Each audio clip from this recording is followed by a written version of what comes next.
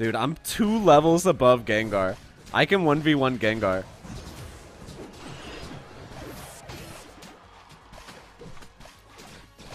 I can almost 1v2 these guys. Once my ult is up, I'm mashing hard on ult right now. Got it.